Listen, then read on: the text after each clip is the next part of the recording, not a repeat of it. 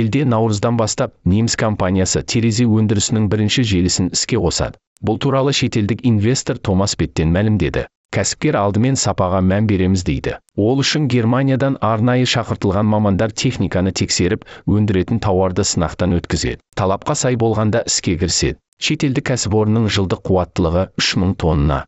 Компанияның таңдауы бізге түсуі бекер емес. Себебі қазақстанда қолайлы инвестициялық мүмкіндікпен дамыған инфрақұрылым қалыптасты дейді инвестор.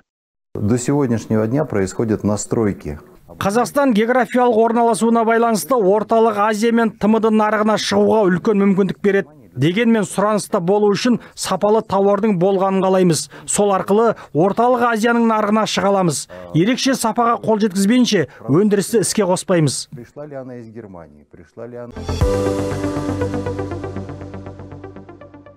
белоруссияда күнкөріс деңгейі шамамен 11 пайызға өсті.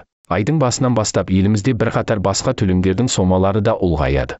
Ең төменгі күнкөріс деңгейі қазір 407 беларусь рублін құрайды. Ол шамамен 57 мың теңге. Көптеген төлемдер осы сомаға байланысты. Мысалы ай сайынғы балалар жәрдемақысы 11 пайызға өсті. Енді ата-аналарға бір балаға 724 беларусь рублін шамамен 100 мың теңге көлемінде төленеді. Жоғарыда бала туу мүгедек немесе қарт адамдарға күтім жасау бойынша төлемдер жәрдемақылар мен зейнетақылар болды. Пәтер жалдау салығы да өсуде. Оның мөлшері қонақ бөлмелерінің санына және орналасқан жеріне байланысты. Ауылдарда арзан қалаларда қымбат. Қаржы саласында да өзгерістер бар. Енді банктер бүлінген шетел валютасын қабылдай алады. Бұл ластанған және тозған қағаз ақша туралы. Олар аздап жыртылған вексельдерді қабылдаудан бас тартпайды. Банктер мұндай вексельдерді белорустарға қабылдап қана қоймай бере алады. Белоруссиядағы ең төменгі күнкөріс деңгейі жылына төрт рет қайта қаралады.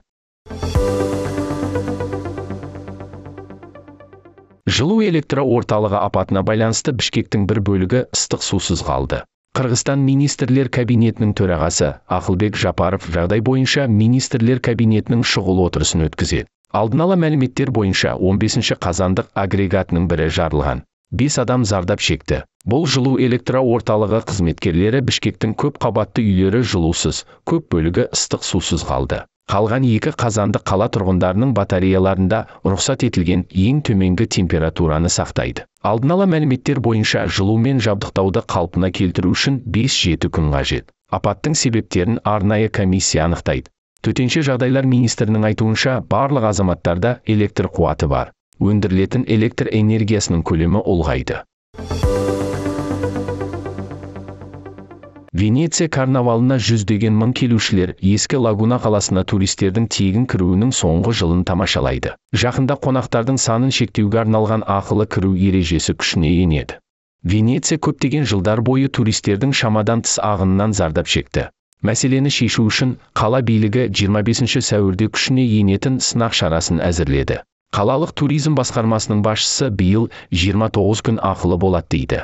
Олар өткен жылдардағы статистиканы ескере отырып таңдалды. Әдетте бұл күндері туристер ең көп болады. Қалаға бару үшін арнайы веб-сайтта орын брондау сондай ақ алым төлеу қажет.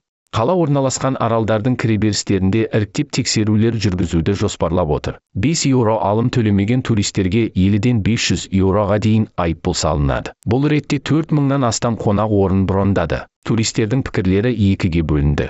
Жергілікті тұрғындар жиналудан босатылғанымен кейбіреулер жаңа ережелер олардың өмірін қиындатуы мүмкін деп қорқады. Өйткені олар да билеттерді брондауға мәжбүр болады. Сонымен қатар қалада маскалар мен көптеген мәдени іс-шаралар бар карнавал жалғасуда. Биыл 27 қаңтар мен 13 ақпан аралығында елуден астам қойылым жоспарланған.